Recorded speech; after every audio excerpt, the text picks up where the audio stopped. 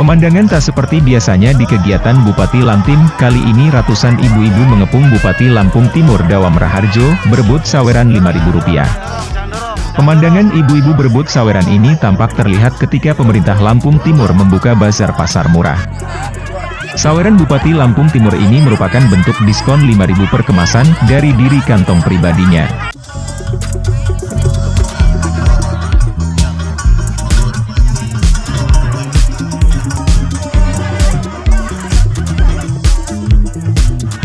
Menjelang Hari Raya Idul Fitri, minyak goreng makin menjadi sasaran utama bagi masyarakat Lampung Timur.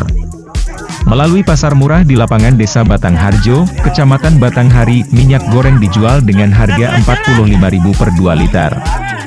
Menurut Bupati Lampim Dawam Raharjo, selama bulan Ramadan ini Pemkap Lampim mengadakan tiga kali pasar murah dengan tempat yang berbeda, di antaranya Kecamatan Sri Bawono, di Kejaksaan Sukadana, dan di Kecamatan Batanghari.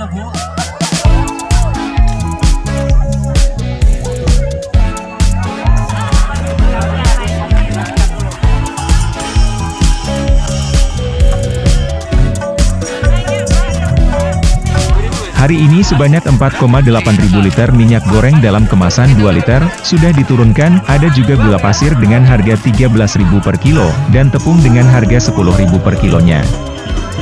Masih dan tren yang tertinggi yaitu minyak goreng. Tren tertinggi minyak goreng baru gula. Karena rata-rata semua harga di bawah standar juga pasaran.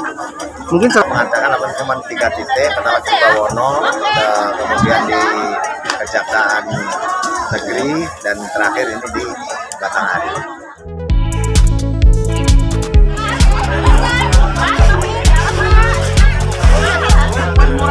Sementara itu, salah seorang warga desa Batangharjo, Lisna mengatakan merasa terbantu karena harganya murah, selisih hingga Rp3.000 bila dibandingkan di warung.